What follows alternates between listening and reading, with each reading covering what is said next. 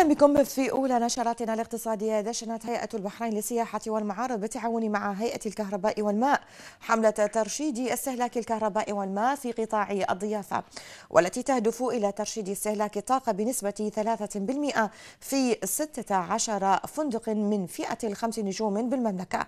وتستهدف الحملة في قطاع الضيافة الحفاظ على الموارد الطبيعية للكهرباء والماء وإدامتها لفترة طويلة واستخدام أفضل التطبيقات الأكثر كفاءة في ترشيد الاستهلاك. كما ترمى الحملة إلى تحفيز وزيادة توعية الموظفين والمقيمين والزوار بأفضل ممارسات ترشيد استهلاك الكهرباء والماء والالتزام بالإرشادات الخاصة بذلك إضافة إلى خفض مصارف المرافق الفندقية المرتبطة باستهلاك الكهرباء والماء. إحنا وصلنا حين يعني السنة يمكن الحمل الرئيسي النهائي أو أقصى حمل المتوقع العام حوالي 3650 وهذا حمل مرتفع جدا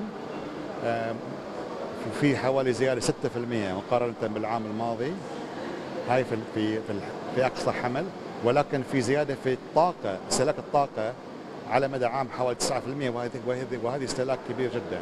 فإحنا نحاول إن نحث المستهلكين الكبار بالذات تقليل استهلاكهم في الكهرباء.